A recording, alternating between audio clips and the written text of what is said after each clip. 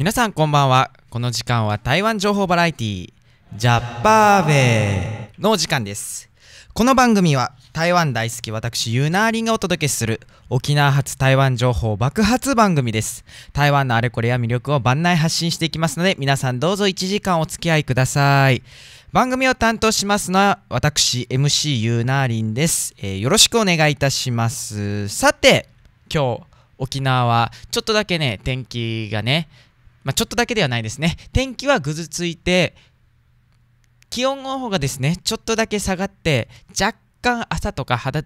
冷たいなっていう風に感じた一日であったんですけど、じゃあ今日の台湾は一体どうだったのかということで、番組冒頭ではですね、本日の台湾ということで今日の台湾をご紹介しております。えー、今日のですね、台北の天気なんですが、現在ですね、16日、日本時間18時現在の台湾の天気ですが、雨で気温24.1度、えー、風速2メートル毎秒で湿度89%となっております。あ、失礼しました。となっております。でですね、最高気温が26度、最低気温が22度となっております。で、気になる明日の台湾のお天気ですが、6月17日土曜日、えー、天気が雨で最高気温24度、最低気温22度で湿度81%、風速4メートル毎秒となっております。そして、えー、旅行される方が気になります、えー、台湾のレートなんですけど、本日1ニュータイワンドル3.676円となっております。前回の放送6月2日が3.707円でしたので、およそ0.1入0.1円ですね、安くなっております、大体。はい。まあ、旅行される方ですね、そろそろ夏の時期になってきますので、まあ、台湾への旅行を検討してみてはいかがでしょうか。そして、本日はですね、えー来る来週6月21日水曜日からですね沖縄で開幕する音楽イベント東証音楽祭に本来ですと出演されるアーティスト、あの、カチンバさんとかですね、えー、千葉な辰巳さんをですね、ちょっとお声がけしたんですけど、残念ながらですね、もう予定の方とか、まあ、カチンバさんですと金曜日ちょっとライブとかがあったりして、ちょっとこの時間帯調整が難しいということでしたので、まあ、音源データだったり音楽を紹介しつつ、まあ、東証音楽祭のね、情報をいただきましたので、本日は私の方からですね、この東証音楽祭というイベントが一体どういうイベントなのかっていうものを皆さんに紹介するとともにですね、出演されるアーティスト、台湾側、日本側のですね、音源が準備できたアーティストさんの楽曲、それから出演されるアーティストさんはですね、全員紹介しますので、ぜひとも、まあ、この番組を通してですね、まあ、イベントをガンガン盛り上げていきたいなと思っていますので、皆さん何かあればメッセージぜひともお待ちしております。えー、この番組ではメッセージやコメントを募集しております。台湾についてのエピソード、台湾についての疑問質問、台湾に関することなら何でも OK です。メールアドレスは 797-fm ギノワン .com 797-fm ギノワン .com です。そしてこの番組はユーストリームやツイキャスで映像と音声を配信しております。FM ギノワンのホームページから見ることができますのでそちらもお楽しみください。ツイキャスはツイッターとも連動しておりますのでたくさんのツイートをお待ちしております。で、リッスンラジオというアプリがございまして、リッスンラジオでもではですね、えー、地上波と全く同じような内容で配信しております。お使いのスマートフォンのアプリストアからリスラジと検索してダウンロードしてください。本日はですね、アーティストさんの楽曲たくさん流しますので、もし皆さん、あのアーティストさんの音楽聴きたいなと思ったら、ぜひリッスンラジオをダウンロードしてお聴きください。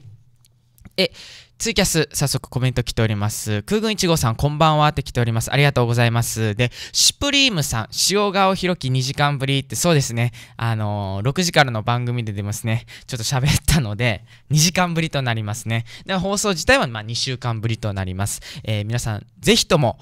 この1時間ですね。まあ今日は音楽たくさんかけますので、ぜひともね、あのーアプリの方、リスラジオの方でも聞いていただきたいなと思っておりますので、よろしくお願いします。では、まあ、オープニングはまあ、曲の方は今日後でかけますのでオープニングナンバーは後でかけるとして一旦 CM をお届けした後にですね、えー、台湾のニュース沖縄のニュース台湾関連のニュースご紹介したいと思いますでは一旦 CM です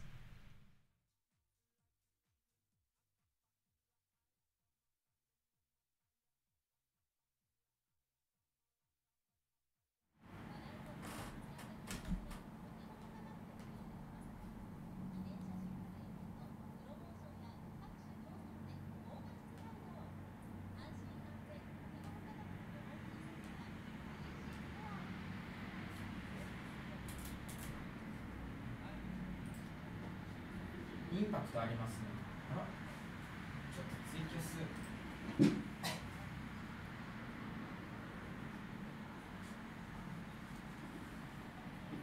はいはい東証音楽祭の見えました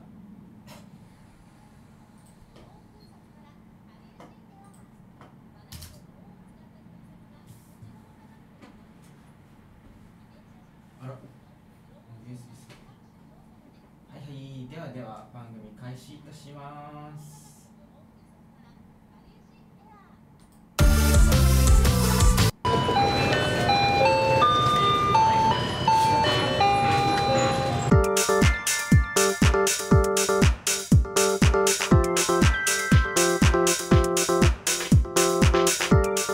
時刻は午後9時。6分を回ったところです。この時間は台湾情報バラエティジャッパーデーをお届けしております。さてこの時間はですね台湾ニュースヘッドライン略して TNH のお時間です。このコーナーでは前回の放送から本日までに台湾であったニュースを私ユーナーリンが独断と偏見でチョイスし皆様にご紹介したいと思います。ではですねまずは台湾関連のニュースご紹介したいと思います、えーまずはこちらのニュースからお届けします。パナマ中国大陸と国交樹立台湾再政権に衝撃、えーこちら台北13日中央フォーカス社です。パナマのバレラ大統領が現地時間12日の夜台湾時間13日午前記者会見し中国大陸との国交樹立を発表しました。中国大陸が掲げる一つの中国の原則を認めるとする一方100年以上にわたって交友関係の続いた中華民国台湾についてはパナマにとってずっと偉大な友人だった外交面での友好関係に感謝していると述べるにとどめました。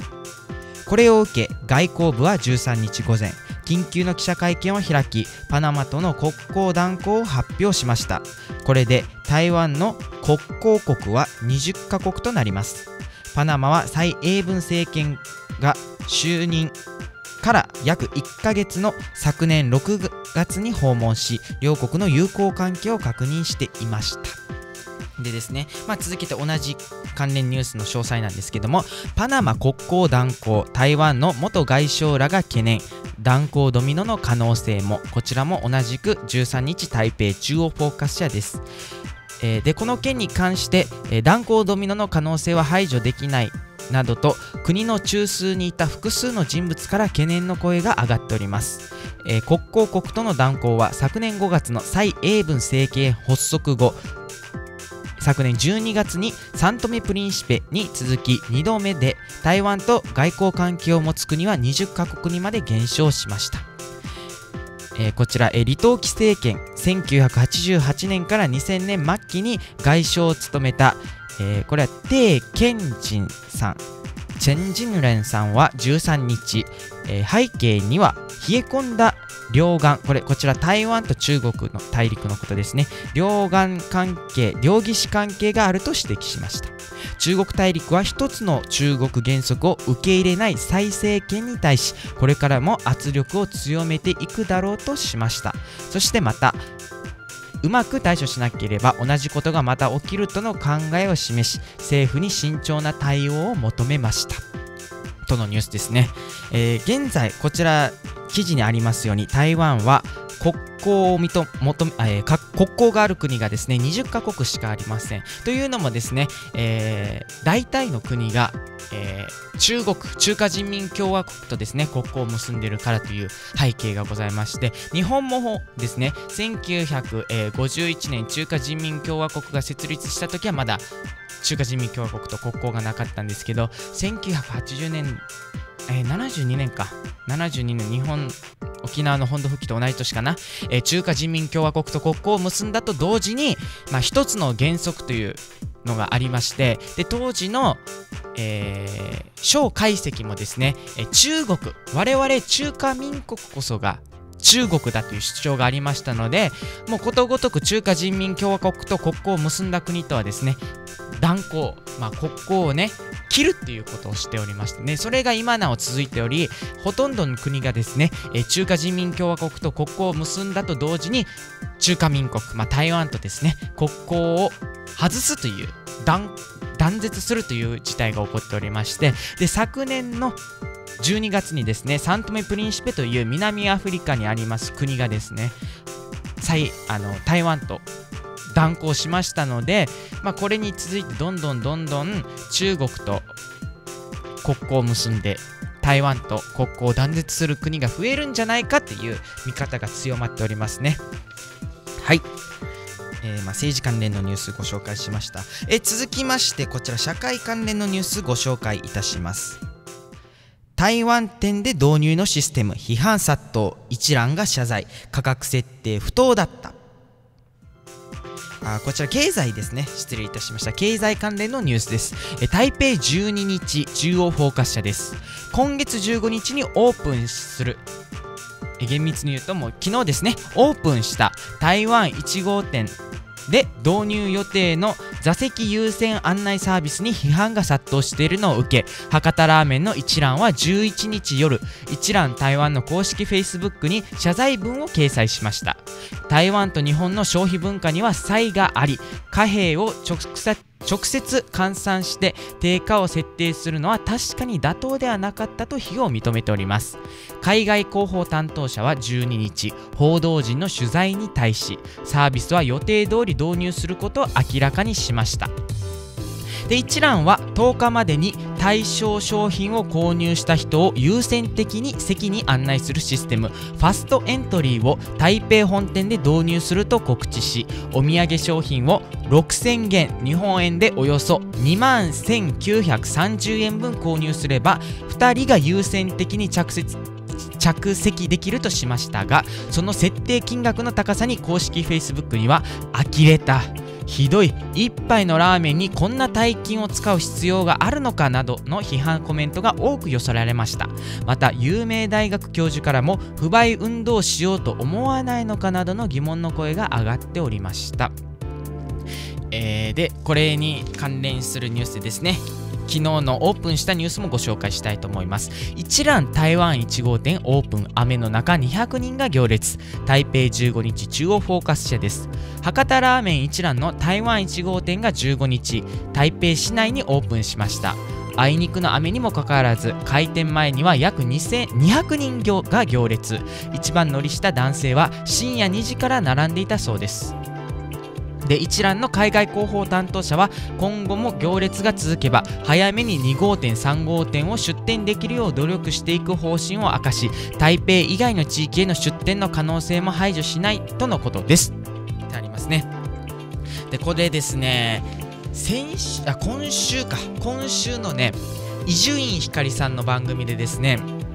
伊集院さんもこんなサービスがあるよって紹介してたんですけどでラジオによると日本でも2店舗ぐらいこういうファストエントリーシステム導入してるみたいなんですよ。まあねこれね日本だって2万2万でしょ？一蘭ってた、えー日本の一蘭僕も行ったことあるんですけど確か1000円、まあ、900円ぐらいだったかなと思うんですけどのラーメン1杯のために2万1930円を購入しないと早く食べれないっていう。なんかねちょっとこれはやり方としてどうなんだろうなって僕は思いますよね。でシュプリームさんから来てるんですけど一蘭はその金額で2人が入店できるんだよね。そうなんですよ。先ほどこの新聞にありますように2人が優先的に着席できるとしたってあるんですけどもちちょっとねもうちょっとね何かねせめて2000円とかさ3000円とかぐらいだったらいいと思うんですけど2万円ってすごいですよ。だって台湾人のですねあのー、大卒の平均月収がですね 22K、RCRK っていう言葉があって22万元なんあ2万2000元なんですよね。そうすると3分の1ぐらいですよね。3分の1ぐらいの値段を払って一蘭の商品を買いの早く一蘭が食べれるって。果たしてこのシステムどう使うのかなと思いますね。まあ中には金持ちで早く食べたい人が使う可能性はあるんですけどもうちょっとねその地域に寄り添ったサービスをした方がいいんじゃないかなと僕は思います。はい。ではでは続いてこちらのニュースご紹介いたします、えー、こちら社会面ですね。3万年前の航海再現プロジェクト。日体の有志が竹いかだで黒潮に挑戦。こちら、えー、台東13日中央フォーカス社です。3万年前に人類が台湾から沖縄に渡った航海を再現しようと日本の国立科学博物館と台湾の国立台湾自然文化博物館による共同プロジェクトが進められています。11日には台湾の原住民族アミ族の知恵を生かした竹いかだが竹いかだで黒潮が流れる海域を横断するテスト航行が行われました。近年沖縄では約3万年以上前の遺跡発見が相次ぎ中国大陸と陸続きだった台湾から移住してきた人々が暮らしていた可能性が高まっています。このプロジェクトは2019年に台湾東部から与那国島までの黒潮横断を実現させることを最終目標としこれまでに船の素材や携帯の絞り込みを目指しております。今年3月からは台湾で竹いかだの製作が進められてきていましたとのニュースですね。こちら結構沖縄のニュースでもあるんですけどもまあねいかだでどれぐらい時間がかかるのかなと思いますね。ちょっと今後また動向に注目してみたいなと思います。はい。ではですね続いてのニュースご紹介したいと思います。え天空からの招待状監督登場のヘリ墜落総統や著名人が哀悼の意。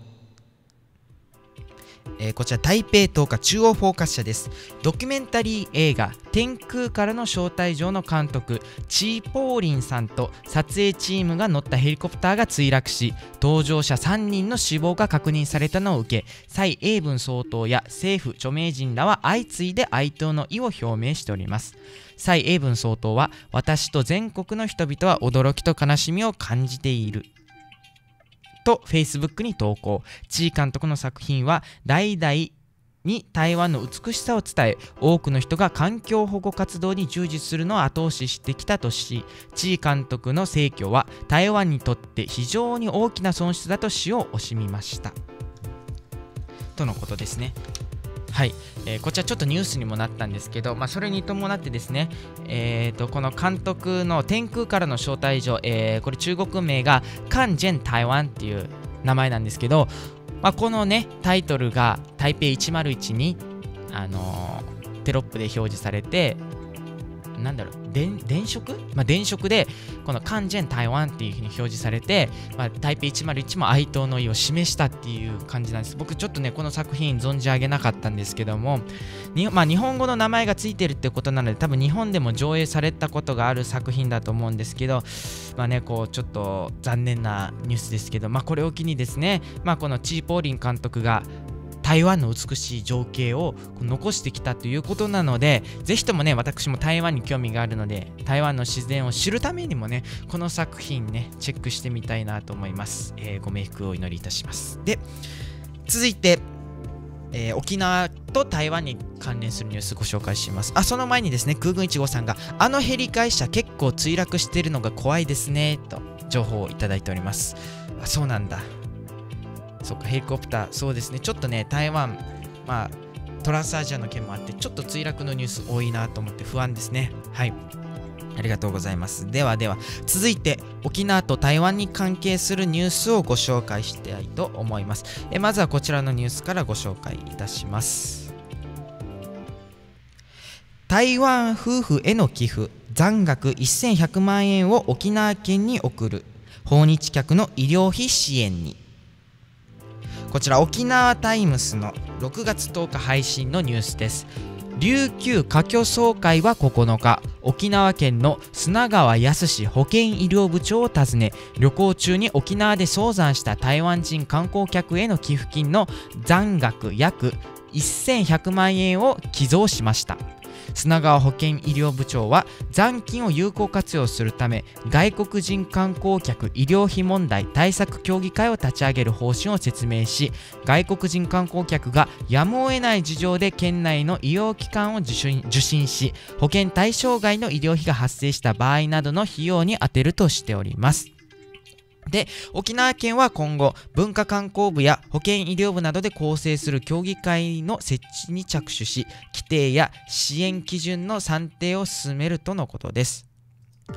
でですね、3月末に沖縄で7ヶ月の早産で出産した台湾人観光客への医療費寄付金は約2ヶ月で2000万円以上集まったとのことですね。もうすぐ集まったので、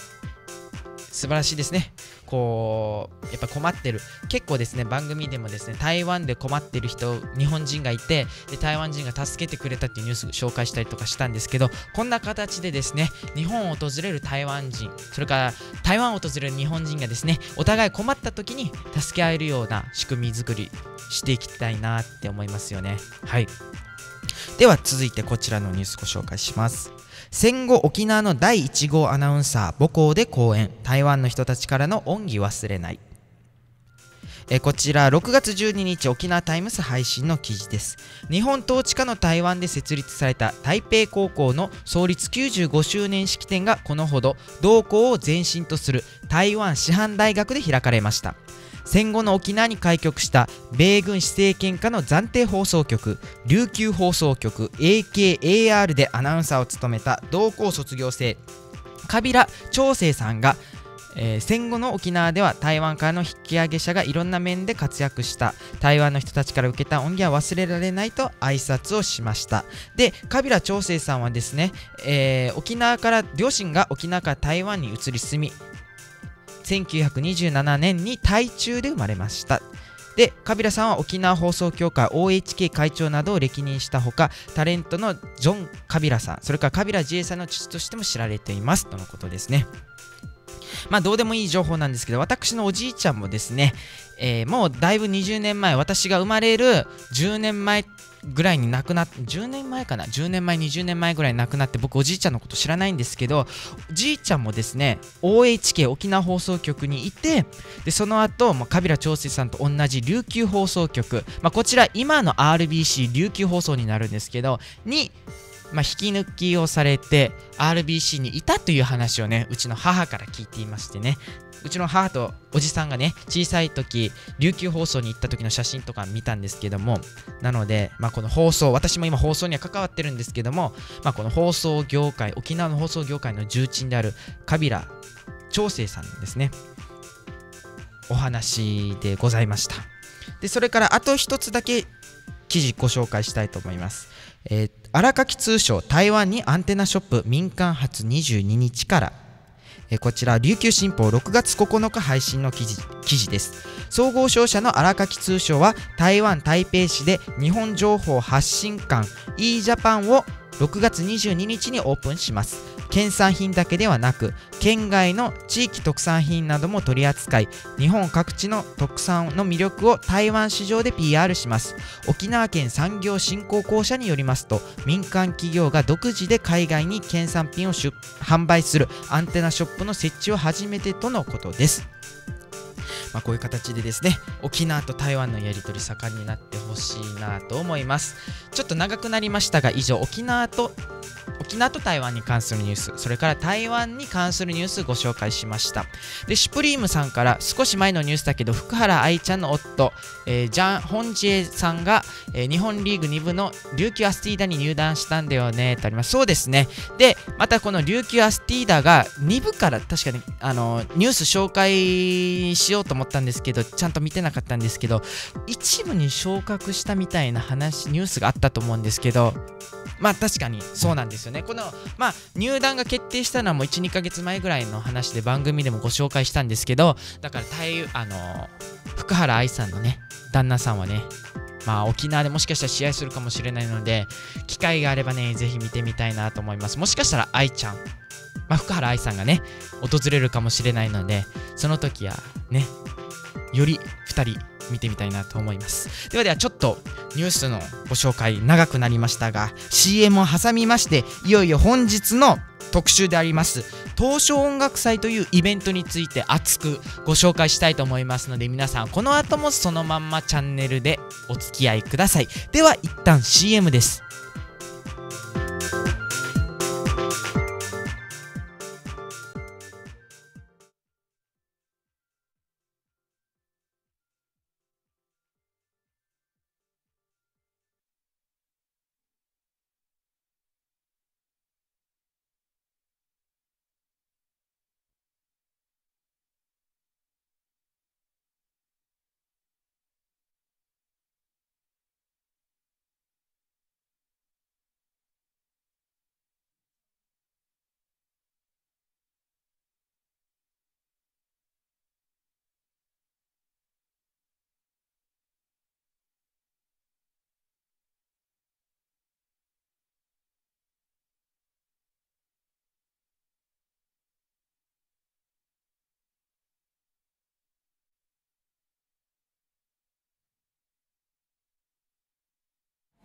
今日も喋りが長くなりそうなんでちょっとお茶の方取ってきました。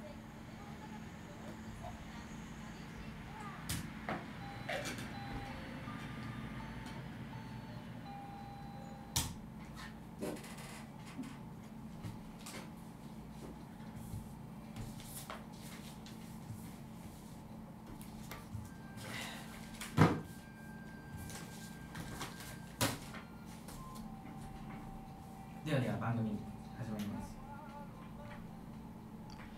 時刻は午後、えー9時20まもなく27分を回るところです。この時間は台湾情報バラエティジャッパーベをお届けしております。さて本日はですね、まあ、ツイキャスユーストをご覧の皆様私のマイクにですね、まあ、ポスターが貼られているんですけど本日は来週6月21日水曜日から6月5日日曜日までですね、えー沖縄県内の各地で開催されます東証音楽祭というイベントについて、まあ、熱く、まあ、プレゼントといいますかご紹介したいなと思っていますので本当はですねゲストさん出演されるアーティストさんの方をお招きしてちょっとお話とかいろいろお伺いしようかなと思ったんですけど本日はま番組冒頭でご紹介した通り時間の都合がねつかなかったということなので私がま残り時間30分程度あるんですけど熱く。でそれから今日は音楽もいろいろかけたいと思うのでどうぞよろしくお願いします。ではまずですね、まあ、皆さんこの東証音楽祭というイベントが一体どういうものなのかというものをご紹介しますね。東証音楽祭とは今年で4回目を迎える音楽イベントで企画の発案は国立台東生活美学館。まあ、台東というのはですね台湾の、まあ、南部ですね。まあ、厳密に言いますと、まあ、台湾、えーま皆さんの手のひら左手用意していただいて台湾の南が、まあ、手の付け根あたりだとしたらちょっと右の方ですね。位置的に言うと東。台湾の東側の南下のところにあります台東という地域の国立の博物館ですね。台東生活美学館というところが、えー台湾のファーレン。という地域、まあ、ファーレンというのは、まあ、この先ほどこの左手出していただいたんですけど左手があったらこの親指人差し指の第2関節ぐらいの地域第2から第3関節ぐらいが台湾のファーレン、まあ、カレンという地域なんですけどそこと沖縄それから、えー台東のですねこの3地域が黒潮、まあ、黒潮っていうこの潮の流れ海流があるんですけど先ほどその紹介したじゃないですか。あのたあの黒潮地域を渡ってきて沖縄に台湾から来たっていうニュースを紹介したんですけどこの黒潮文化圏にある文化の特性がとても似ている。で地域の生活スタイルやそこから生まれている音楽を互いに認識するということが目的の一つで、え継続的な交流を目指し企画されています。とのことですね。でちょっとあのツイキャスが切れたのであの一瞬だけですねツイキャスの更新したいと思います。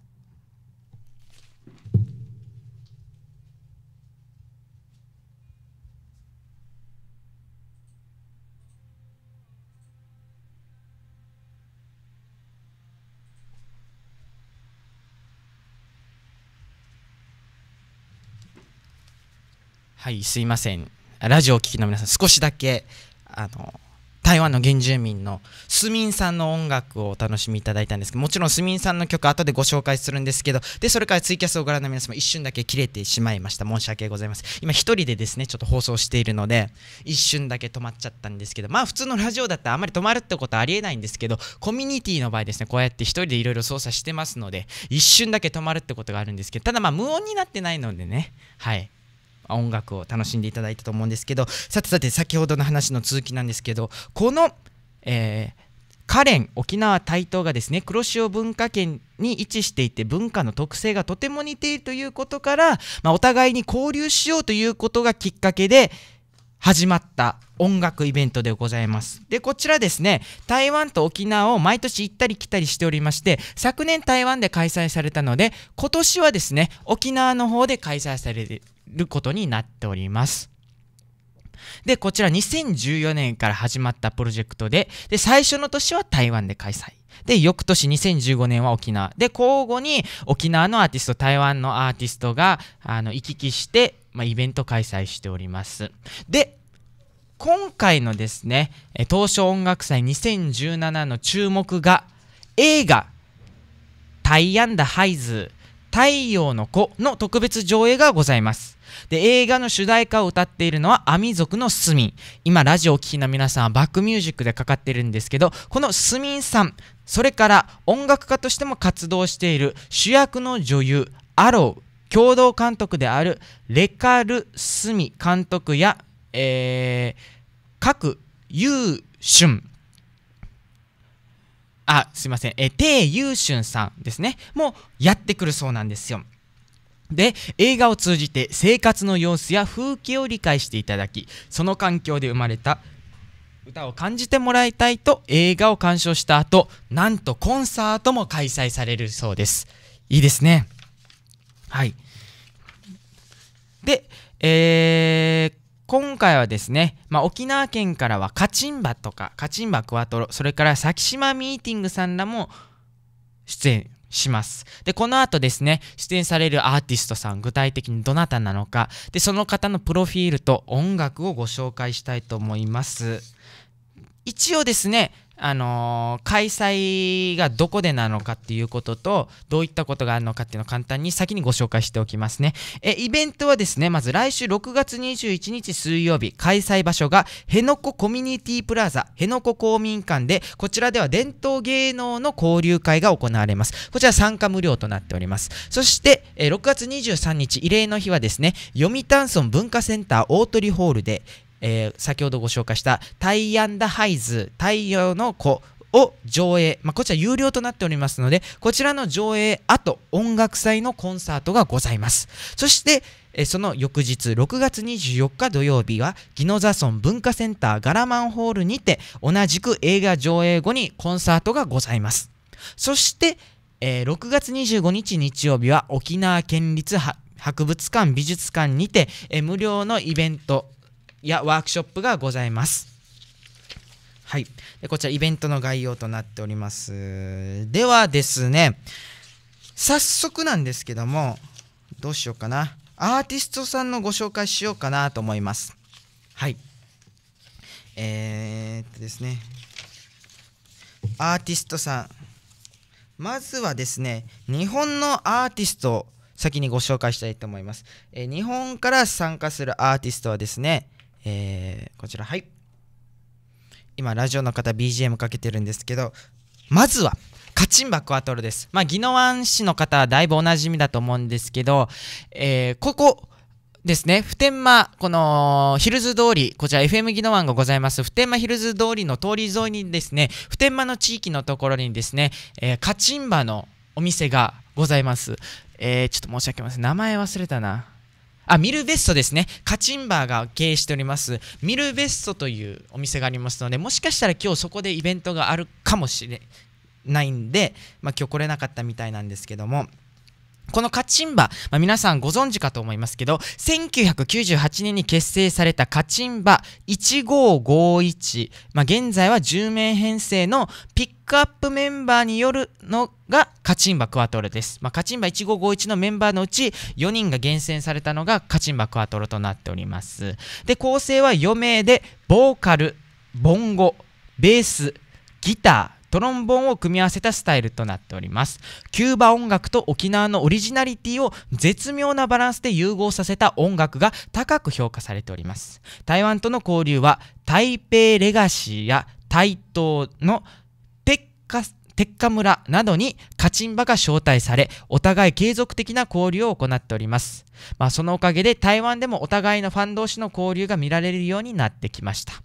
で、AMIS ミュージックフェスティバル、こちらアジアミュージックフェスティバルですね、にカチンバがゲストとして招待され、その後 TIFA、台湾国際芸術節、台湾インターナショナルフェスティバルオブアーツ2015へ参加。で、黒潮文化がつながる同じ風景をコンセプトにした公演は台湾国際芸術節。で国内外から多数の音楽関係者が訪れ反響を呼びましたとのことです。ではでは早速そのカチンバの音楽おかけしたいと思います。えー、クエリコ・エル・リッモ。クエリコ・エル・リッモ。ちょっとこれ何語だろう。キューバえっ、ー、とスペイン語かな。ポルトガル語かちょっとわからないんですけどまあ、ラテン系の音楽ですね。まあ、この曲一番カッチンバで有名な曲じゃないかなと思います。えー、ではお聴きください。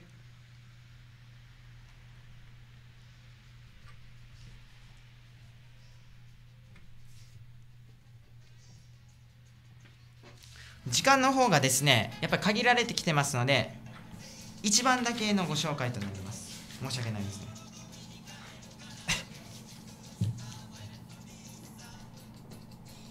はい本日はですねあタイアンダーハイズの紹介もしよう。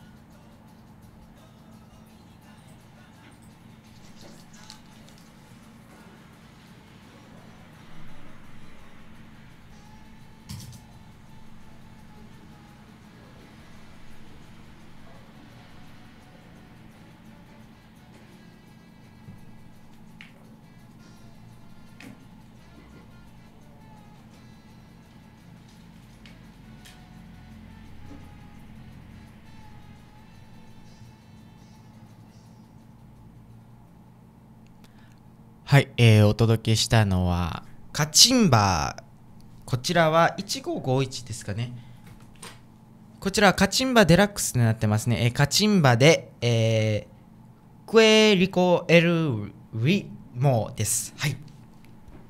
ではでは続いてのアーティストをご紹介したいと思います。続いて出演されるアーティストはザ・先島ミーティング。えー、こちらですね、荒ゆきとさんと、下地勇さんですね。で荒井幸人さんは石垣島の白穂出身。で、えー、下地勇さんはですね宮古島出身で、まあ、このまさにこの先島出身の2人で結成しているのでザ・先島ミーティングという名前になっております。でですね今ちょっと BGM でかかってるんですけど宮古石垣の方言ってねやっぱり沖縄の方言とまたちょっと違ってですねまあ宮古だったらタンディガータンディとかあのアパとかねちょっとまあ沖縄本島の人にはわからないようなですねまたちょっと違う方言使ってるんですけど、まあ、下地勇さんとかね荒井由紀人さんはそんなね地元のね言葉を使った楽曲とか出てこの先島ミーティングも結構そっちのね先島のね言葉を使った曲とか書けてるんですけどで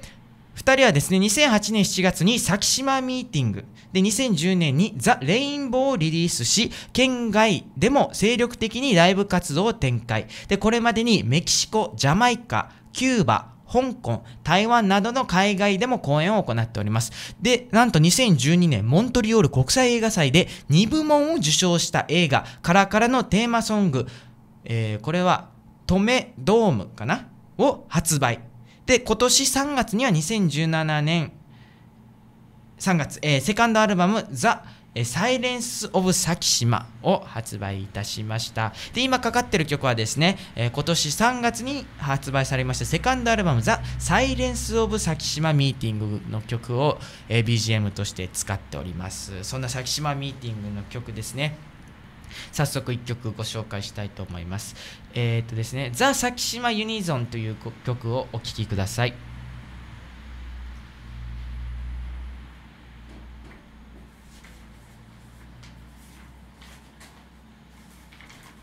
ツイキャスをご覧の皆さん、本日はですね、音楽をメインでお届けしておりますので、ちょっとだけですね、あの、ツイキャス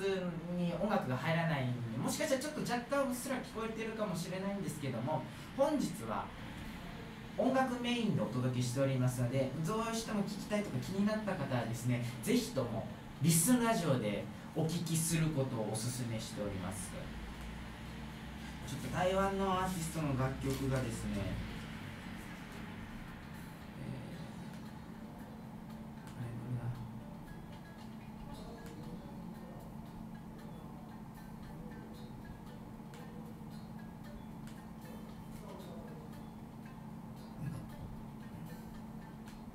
失礼。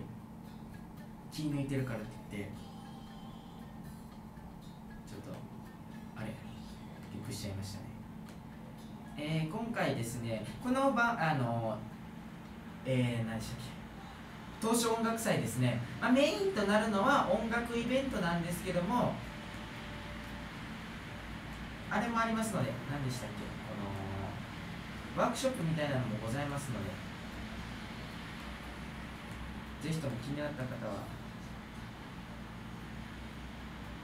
あの FM ギノワの Facebook にですねあリスラジとキャスの2大視聴なのでありがとうございます。FM ギノワの Facebook ページにですね東証音楽祭の Facebook のリンクと東証音楽祭のホームページのリンク貼ってありますので気になる方そちらでちょっとホームページチェックしていただきたいなと思います。ではではちょっと本編に行きたいと思います。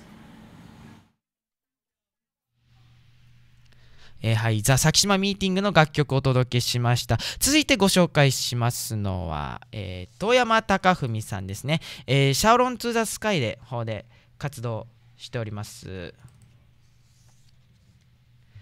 えー、まあ、遠山貴文さんですね、魂さんっていうあだ名でおなじみなんですけど、現在ですね、多分、ラジオ沖縄のカラフルという番組だったりとか RBCI ラジオのこのステーションジングルでおなじみなんですけども、まあ、魂さんシャーロン・トゥ・ザ・スカイの作詞作曲ボーカリストとして活動しております。で2006年にはシャーロン・トゥ・ザ・スカイとしてファーストアルバム「月の影から」を2008年にはセカンドアルバム「待ちわびた暁」を自主レーベル真夜中レコーズより全国リリース。でツアーやイベントに出演を重ね大阪の FM 局802のイベント「南ウィールに出演。で2009年にはオリオンビール社の CM ソングを担当。最近では台湾台北でのライブツアーにも出向いております。で日本はアジアの至る所に歌を降らせながら虹をかける旅を続けています。でですね、えー、まあ、先島ミーティングさんもそうですし、カチンバさん、遠山貴文さん、シャーロン・トゥ・ザ・スカイさんもですね、結構台湾関連のイベントに出演していますね。あのー、昨年のアジルのイベントでも、えー、お見かけ、え、先島ミーティングさんいたかな？先島ミーティングさんはですね、2015年のアジルまあ、その時のアジルはですね、東証音楽祭と一緒に開催されたんですけども、2015年のアジル東証音楽祭ではですね、まあ、先島ミーティングさん僕お見かけしたんですけども、結構アジアのイベントにこの3方参加しております。ではでは早速ですね、シャロン・トゥ・ザ・スカイさんの曲、愛の歌おかけしたいと思います。こちらも多分シャロン・トゥ・ザ・スカイさんの曲で一番有名で、で、RBC アイラジオのステーションジングルにもなっております。それではお聴きください。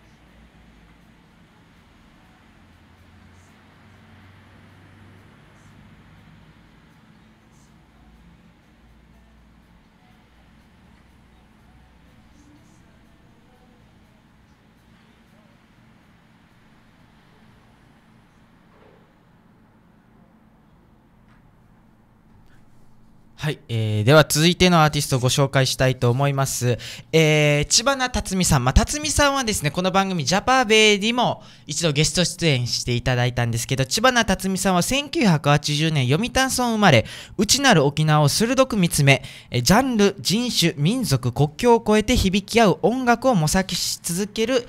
アーティストでございます。で、言葉遊びの中に深いメッセージを散りばめた歌詞と、ロック、レゲエ、ヒップホップ、沖縄民謡などをチャンプルーした雑食な音楽性が特徴とな、魅力となっております。でですね、千葉な辰巳さんね、中国の北京に留学して、で、現地でアジアンロックバンドの、これは、えー、ピンウェイシー、ユン、えー、っとね、品川の品に、え味見の味、ピンウェイですね。で、起源と書くんですけど、を結成し、アルバムを発表した経験を持っております。で、えー、近代アーティストの楽曲アレンジ、ラジオ、CM などへの楽曲提供も行っており、昨年台湾ににて開催された東証音楽期に参加、えー、台湾アーティストとの交流を行いましたとのことですね。で、千葉な辰巳さんもですね、よく、えー、日本と台あ沖縄と台湾の関するイベント、音楽イベントに出演されております。ちょっとですね、あのー、もうね、時間の方がね、かなり限られてきておりますので、アーティストの楽曲はですね、ちょっと BGM の方でおかけしたいと思います。申し訳ございません。はい。えー、ではでは、続きまして、こちらのアーティストをご紹介したいと思います。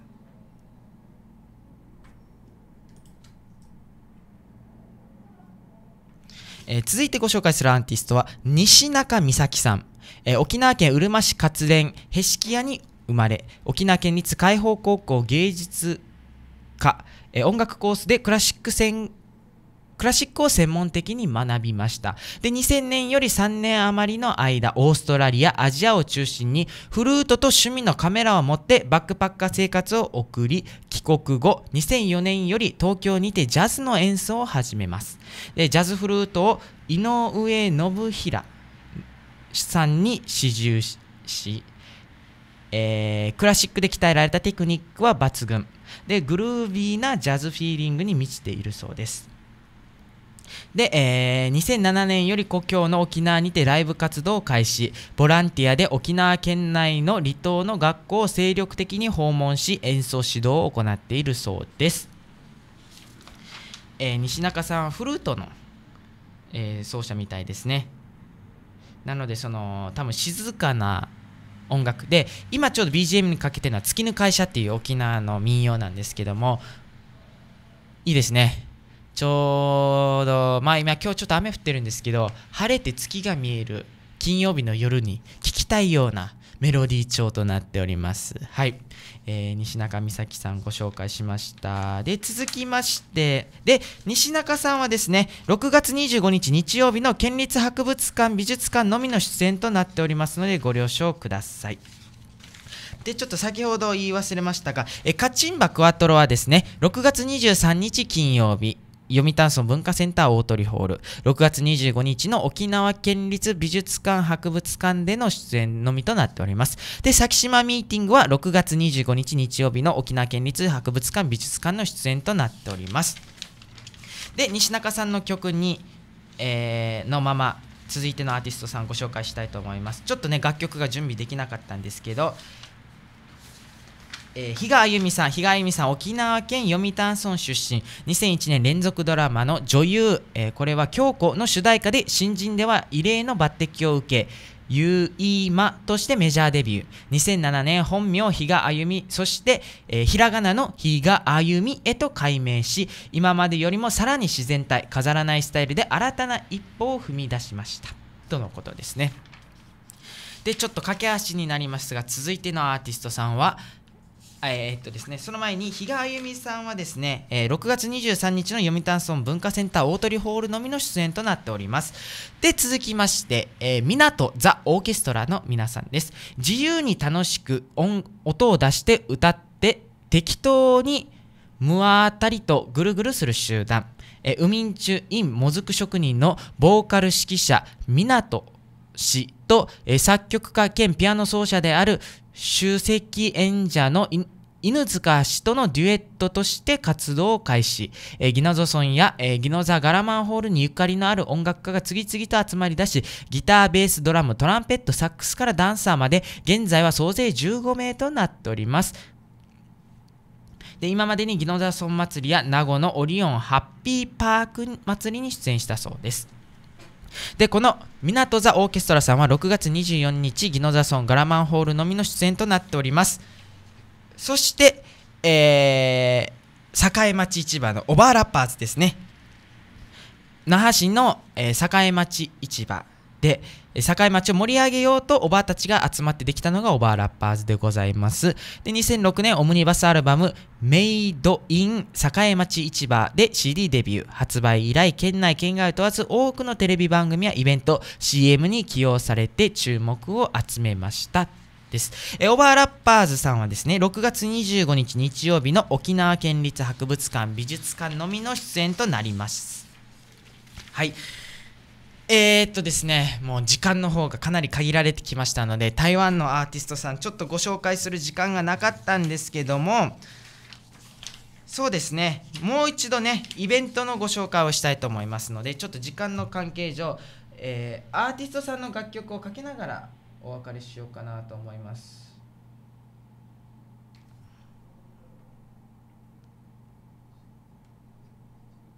はい。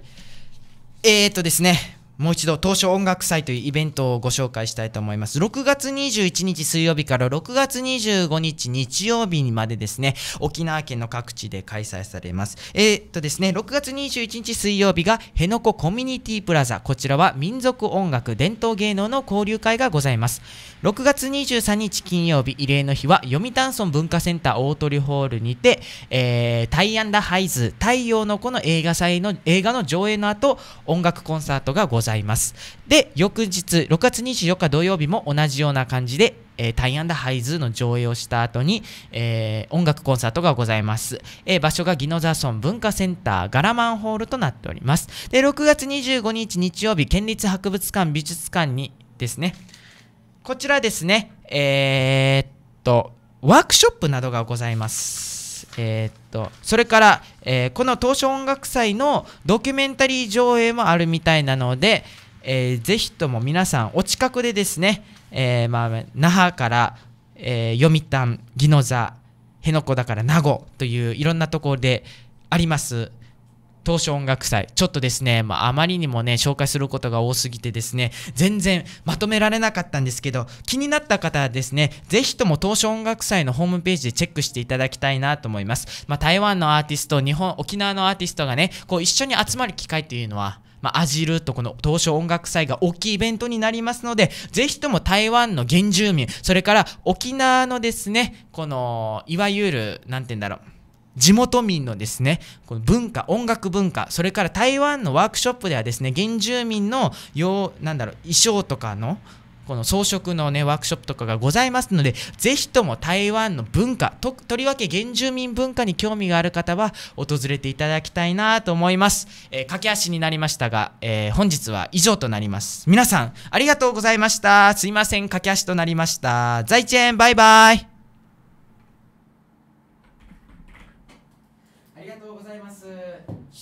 さん耳に馴染んだ曲とありますね。そうですね。こちらあのシャロン・トゥ・ザ・スカイさんはですね、まあ、先ほど紹介した通り RBC アイラジオのねあのステーションジングルになっているのでここへ書いてある通りに RBC のアイレディオと言ってしまいそうになりました。そうですね。ありがとうございます。ちょっとね本日駆け足でご紹介になってしまったんですがまたねあのツイキャスの方ツイッターの方にですね早めにあげたいと思いますので皆さんぜひよろしくお願いします。日本高松マリーさんありがとうございます。ではではまた。